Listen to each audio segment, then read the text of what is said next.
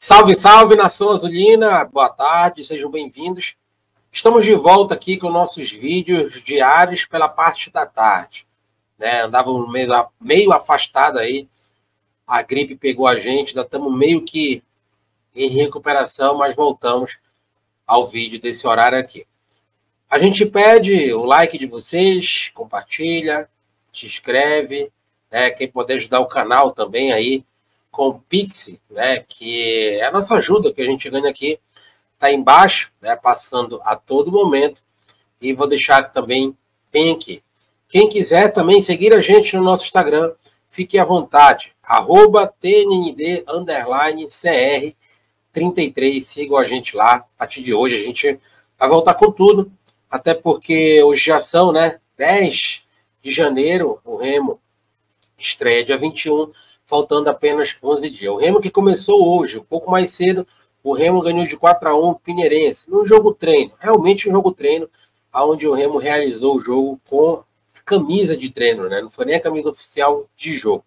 Uma movimentação, um jogo que serviu realmente para dar uma movimentação, para dar mais um ritmo de jogo aos jogadores que vêm treinando intensificadamente a questão física, né? depois de passar pela parte clínica, agora a questão física e questão tática também, porque não tão menos importante ela é. Infelizmente, eu já havia falado em outro vídeo, portões fechados, né, sem a presença do público, sem a presença da imprensa, nada de Remo TV, para a gente poder fazer aquela análise que sempre a gente gosta e passa para vocês. Mas vamos deixar no final desse vídeo aí, saiu na Remo TV, os quatro gols do Remo e um gol do Pinheirense, ou seja, os cinco gols da partida, da partida, perdão, nós vamos deixar para vocês no final desse vídeo. Lembrando que esse vídeo tem aí a companhia da Filéu. A Filéu é um aplicativo onde você encontra vários serviços e benefícios mais próximos da casa de vocês, como academia, é, consultório odontológico,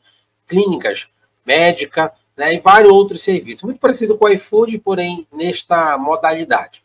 Então, se você quiser se cadastrar, o link da primeira descrição fixada embaixo, você vai clicar, vai lhe levar direto para o Play Store, você vai baixar, e você que é empresário, quer expor sua marca, o seu produto, o seu negócio, aí embaixo também o link dos planos mensais, semestrais, anuais. Totalmente baratinho, cabe no seu bolso, fique à vontade para fazer isso aí. É muito bom para você, tá? É um marketing muito legal para você divulgar o seu negócio aí.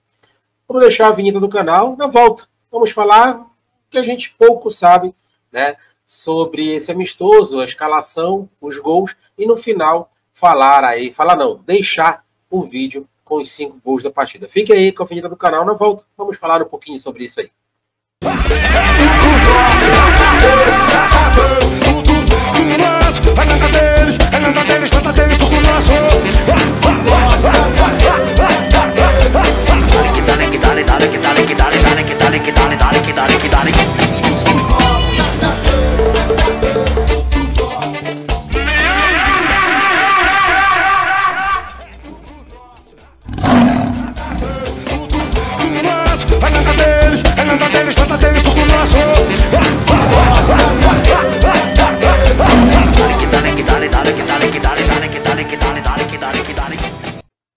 Antes da gente falar né, dessa questão do amistoso, o Clube do Remo segue ainda, foi uma informação que eu obtive mais cedo, atrás das três contratações que ainda faltam. O Remo encontra dificuldades tremendas no mercado. Não é dificuldade de trazer o jogador.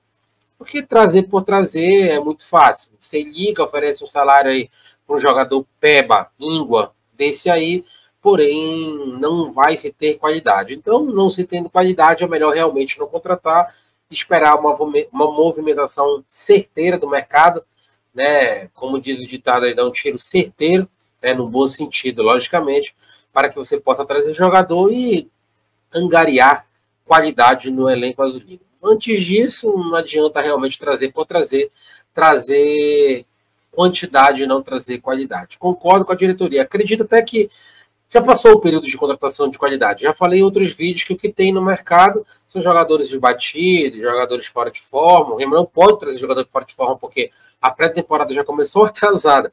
E aí você trazer jogador agora para tentar recuperar ele condicionamento, o condicionamento físico para colocar lá para quinta, sexta, sétima rodada do Campeonato Paraense, Né? Você vai pagar um salário à toa para o jogador e recondicionar o jogador onde mais o Clube do Remo precisa.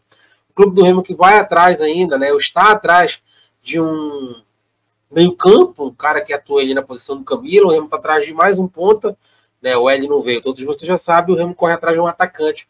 O Remo só tem dois no elenco, né? Que é o Ítalo e que é o Cano. Então, realmente são posições que preocupam bastante, principalmente essa de ponta, né? O cara que joga pelas beiradas e o centroavante, o cara que joga mais enfiado na área, o cara que coloca a bola dentro do gol. Então, realmente são posições carentes no elenco azulino né? Não só de quantidade, mas também de qualidade. Está faltando essa qualidade a mais, é algo que realmente preocupa. Mas se for para trazer por trazer, concordo com a diretoria azulina que não se deve fazer isso aí.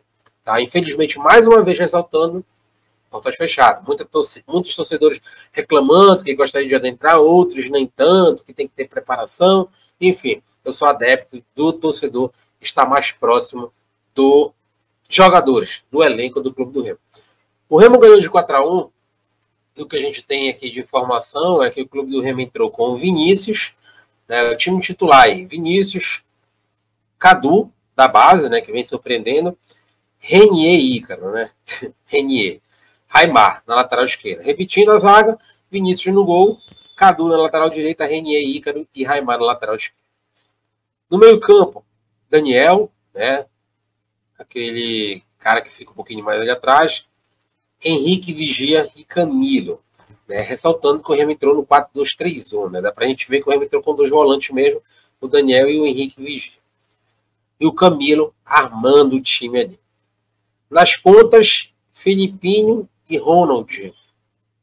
Né? E no ataque, o Canu, da base do Clube do Remo. Então, repetindo, Vinícius, Cadu, Renier, Ícaro, Raimar, Daniel Daniel, né? Henrique, Camilo, Felipinho, Ronald e Cano. Ah, até esse já vai ser time que vai estrear no Campeonato Parece Não, pessoal. Isso aí é os jogadores que chegaram primeiro, que fisicamente estão melhor condicionados, né? Então, o Catalá usou aí essa questão física, né? Dos jogadores que se apresentaram primeiramente para poder escalar o time. Depois entrou Léo Lang, Marcelo Rangel no gol. Nas laterais entrou ali, lateral direito, Vidal e o Thales na zaga entrou no lugar do Renier, o Lídia. Depois o Bruno Bispo, do Ícaro, entrou o Jonils. Na lateral esquerda, no lugar do Raimar, entrou o Natan. É... Meio campo, no lugar do Daniel, entrou o Paulinho Curuado, o Henrique entrou o Renato Alves. Do Camilo entrou o Pavani, né, e depois o Jadson, né, atuando ali mais no meio campo. No Felipinho entrou o Echamporan, né, do Ronald entrou o Marco Antônio, isso vem muito, muito a sinalizar com o que já falávamos. O Marco Antônio será utilizado como ponta nesse time do Clube do Remo. Muita gente pensando que o Marco Antônio será meio campo, não. A entender que ele será ponta sim, não é à toa que o Remo corre atrás de outro meio campo para poder estar colocando no elenco. No ataque, o Canu, né, e saiu para a entrada do Ítalo. São os únicos dois atacantes que nós temos. Então, realmente preocupa, dá para vocês verem que preocupa o ataque do Clube do Remo para o resto da temporada, faltando ainda um atacante para compor ali, junto com o Cano e Ítalo, e mais um ponta, né? Já que o Marco Antônio, que atuou muitos, ou a maioria dos jogos no Chape, na Chapecoense, como meio-campo, entrou como ponta no lugar do Ronald. Vou deixar agora o vídeo, né? Tá na Remo TV também, vou deixar o link da Remo TV aí no primeiro comentário, fixado junto do comentário da Filéu, né? E vocês acompanharem um videozinho de um minuto, aí, menos de um minuto, com os cinco gols da partida. Então, o que, que tu achou? O que, que tu deixou de achar? Não tem nada para a gente falar, porque a gente não viu, então a gente não vai né, dar piteca no que a gente realmente não viu, ter sem comentários sobre isso. Tudo na semana deles, voltamos com tudo agora, tá? À noite tem mais vídeo para vocês aí, quem sabe uma live, né? Digita aí embaixo se vocês querem uma live ou não à noite, para a gente poder estar tá se aproximando aí do pouco. Galera, não deixa de comentar, de deixar o like, de te inscrever. Quem puder ajudar o canal aí embaixo com o Pix, fique à vontade. Tudo na zona deles, Theo Souza, um abraço a todos. Fui.